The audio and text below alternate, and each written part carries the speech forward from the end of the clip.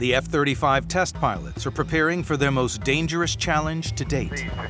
The F-35B is designed to stop in midair before landing vertically using immense downward thrust, like a rocket in reverse.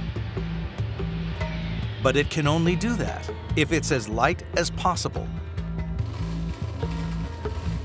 Any unexpended weapons brought back or any unburnt fuel would have to be ditched into the sea. So the deceptively simple plan is to add forward speed to the vertical landing, flying half like a rocket and half like a plane to give extra lift under the wings.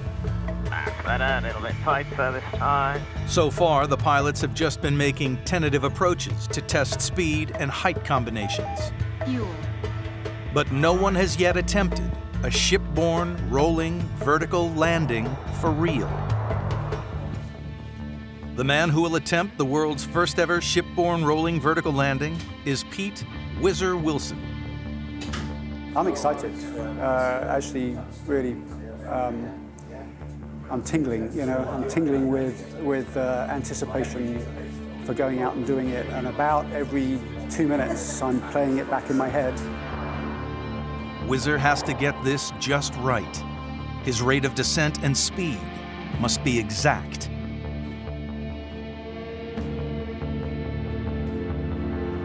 The slightest mistake now, and he could smash into the deck and become a fireball. All right, why's the speed not gone to where I wanted it to? Wave off, wave off, wave off. First attempt, too high and too fast. Wizzer goes round again. All right, 2.3 on the gas. We're doing all right. This could be last second. He must now follow those guidelines all the way. That horizontal line halfway down is his point of no return. Beyond that, there's no turning back. He'll be committed to land. Wave off, wave off, waving off. Second attempt, too fast, too low. Another two seconds and he would have been committed and probably crash landed. Let's take it around for another go. If Wizzer can't land this time, he may have to abandon the SRVL altogether. Okay, coming down now. All right, it's just around a little bit. It's below 200 feet. Okay, coming down now. I'm on the center line. On center line. All right, looking good. On center line, slightly low now. Little low.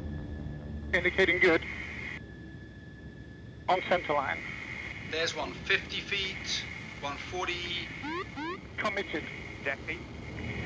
Lot of noise. Touchdown. On center line. On the brakes. And off the brakes. And stationary. Beautiful. That was so exciting, and to finally get the first one done and then see it happen just like it happens in the simulator was just the most special experience of my entire career, I think. Uh, there, it wasn't without its stress. You know, at the time, it didn't work out exactly perfectly as we intended it to, uh, but we ultimately executed it safely and professionally. Uh, we got the data that we wanted, and now we're ready to move on and do more, and I'm looking forward to doing the next one, because that was pretty special.